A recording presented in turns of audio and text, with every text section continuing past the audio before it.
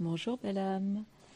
Alors je te retrouve aujourd'hui pour euh, te présenter les énergies, la guidance pour cette nouvelle lune du mois de septembre, du 3 septembre précisément, qui est là euh, communément dans le signe de la Vierge. C'est comme ça que l'on voit les choses dans l'astrologie, euh, dans notre astrologie européenne. donc je suis Imaya, tisseuse entre les mondes créatrice de la voix celtique, du cycle des gardiens de la Terre que tu peux suivre maintenant en vidéo avant de venir sur le terrain. Et puis je t'accompagne dans ton éveil spirituel par des guidances, des soins lumière, des sorties initiatiques sur des hauts lieux, par des harmonisations de tes lieux de vie.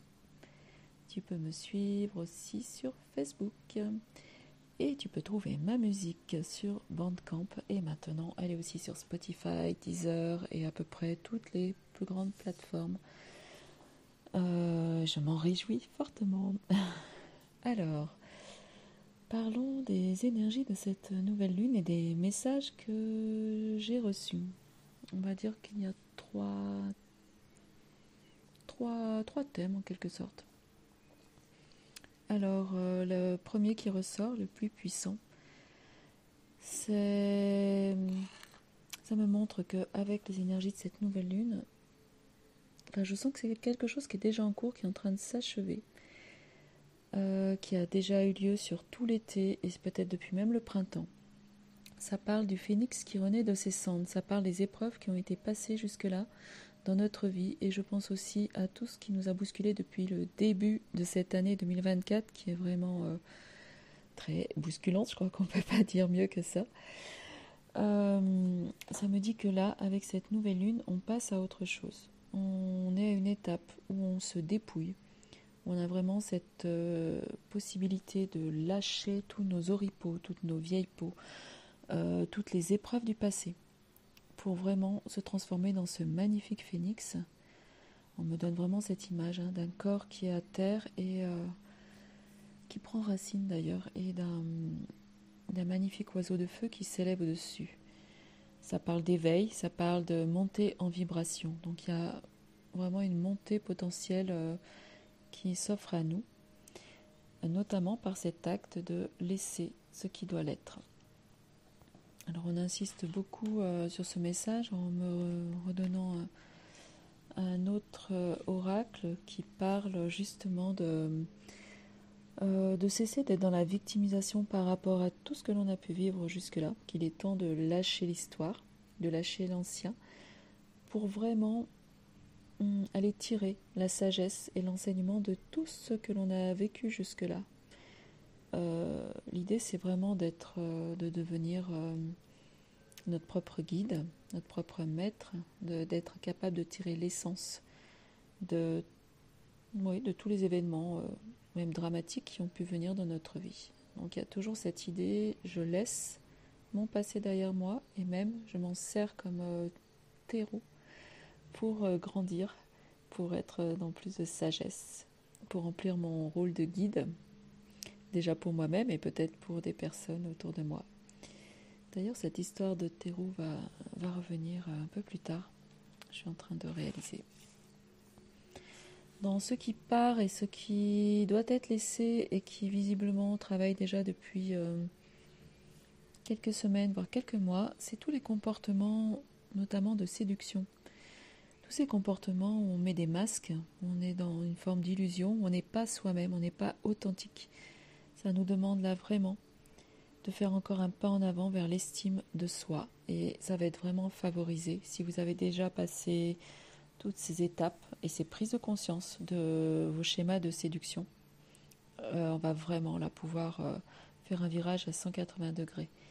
C'est-à-dire comment je peux être moi-même, m'accepter tel que je suis en tant qu'être humain, sans avoir besoin d'en faire trop, euh, sans avoir besoin de me montrer tel que je ne suis pas ou euh, euh, d'en rajouter, alors que dans la simplicité, du moment que je m'estime, je n'ai pas besoin d'en faire plus.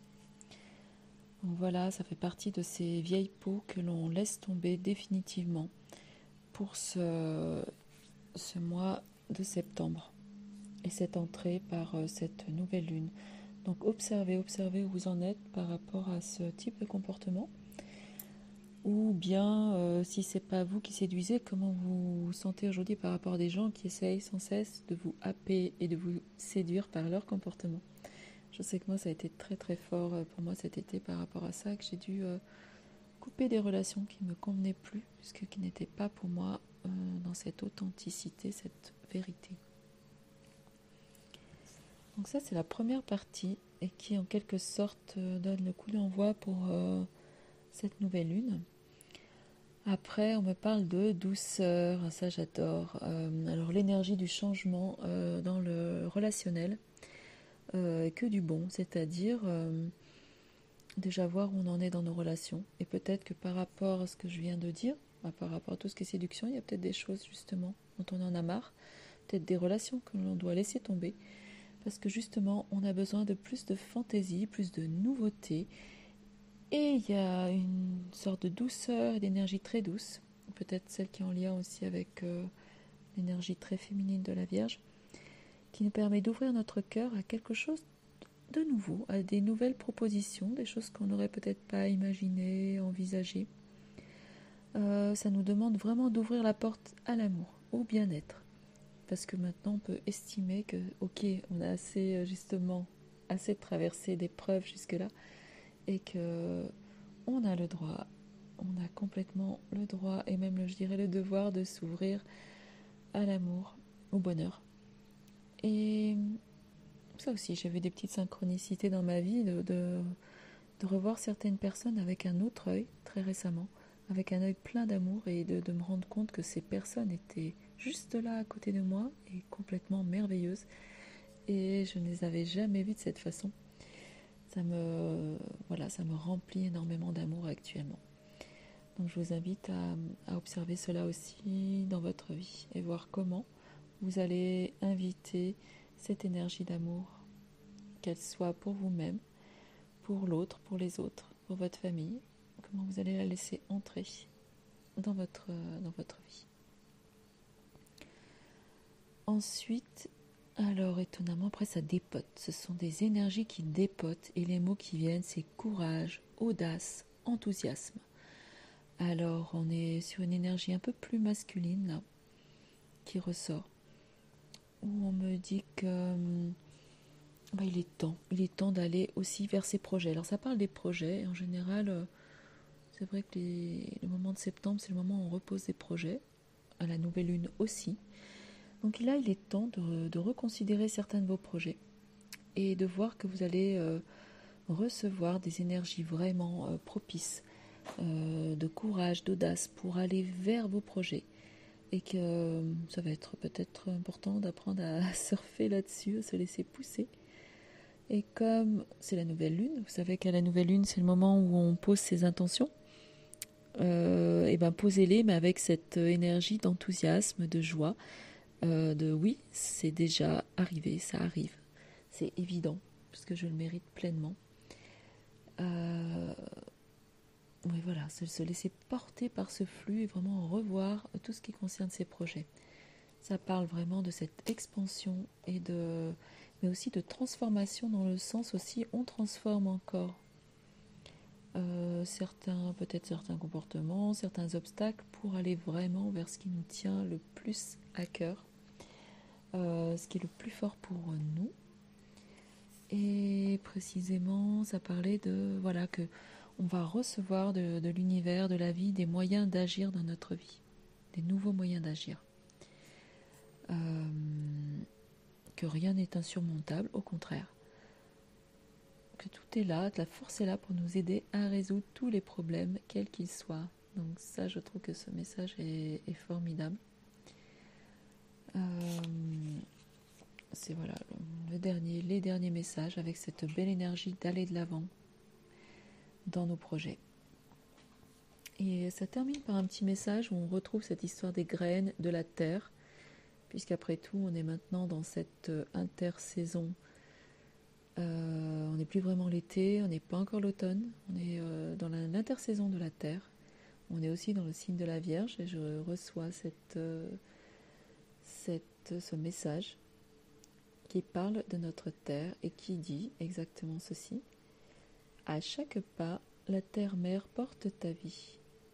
Connecte-toi à sa fertilité, à sa générosité, alors tes rêves et toutes tes actions deviennent des graines qui fructifient. Et je trouve que ça conclut très bien cette guidance, puisque c'est ce qu'on voyait un peu plus tôt. On va laisser à la terre certaines choses, on va reprendre ses projets, on va vraiment euh, croire à ses rêves. Euh, tout est possible, d'autant plus qu'il va y avoir une énergie qui va nous pousser dans ce sens. Et je pense que la connexion, l'ancrage à la terre est vraiment essentiel. Et comme je vous l'ai dit, je le vois dans une des images qui m'est donnée où on voit ce corps qui s'ancre à la terre pour pouvoir renaître. Alors euh, je trouve que ça boucle bien entre ma première image et la dernière.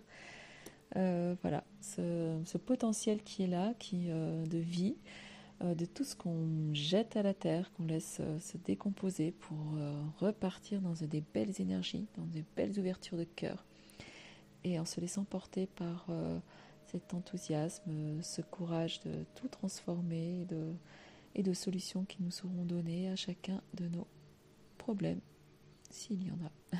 voilà.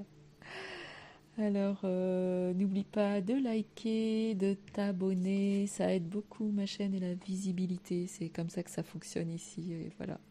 Et ça m'encourage aussi. Euh, merci aussi de tes commentaires, ça, ça me fait euh, très très plaisir de te lire. Euh, et puis si tu souhaites une guidance personnalisée sur ton chemin de vie, ton chemin d'âme, contacte-moi euh, par le mail qui sera noté dans la barre de description. Avec grande joie de t'aider et de partager euh, cette belle énergie qui m'accompagne aussi. Voilà, bonne route à toi jusqu'à la prochaine guidance de la pleine lune éclipsée de septembre.